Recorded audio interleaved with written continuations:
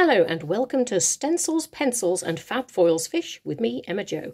So, watercolour card, cut to size, stencil brush series 9 and some Elements Ink Sundance. First, then on the outside of where we place the Sundance, we're going to pop some green sleeves, then some Elements Ink Pine.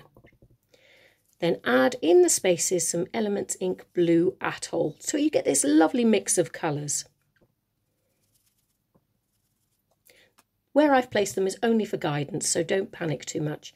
So take the Pebble stencil and a size 9 stencil brush and some Elements Ink Merlot. And again, we're going on the left-hand side, so the bottom half of that, bottom left-hand side of that piece. So take some water on your fan brush and draw some invisible lines using the side of your fan brush. Now using the Mondeluz watercolour pencils, if you take colours that you think will work. Now I've gone with a darker blue, like a Royal Navy, um, and a pale blue, and an almost aqua blue pencil. And I'm just colouring in those stones. I'm not making anything up. I'm just using what is already there. That's the joy of these stencils. And the joy of these brushes is that you, uh, pencils even, is that you can um, add colour on top of what is already there. And they mix beautifully too. So you can see it starting to pop with all those blues, can't you? It's fab.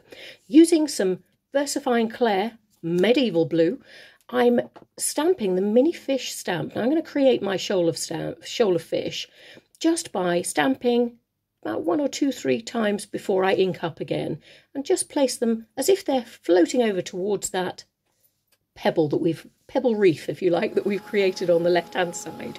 And once you've done that, dry it off.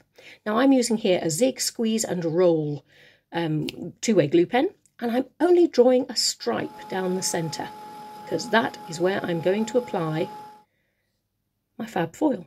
But before I do that, you look at the inspirational word stencil stickers, um, sticker stencils even, and I've just chosen keep moving forward because I think that's a lovely sentiment. Now on these fish, that glue has now dried to the point that it's tacky. And what you can see here is me using three colours, blush, teal and ice blue. And I'm just putting little dabs of each along that stripe of colour to get a lovely flash when we move it. If you want any extra accents like eyes, use your aqua green Posca pen. And now I'm using a white Posca here to give our fish some bubbles. Let's let them breathe. I'm only doing three from three dots from up from each fish.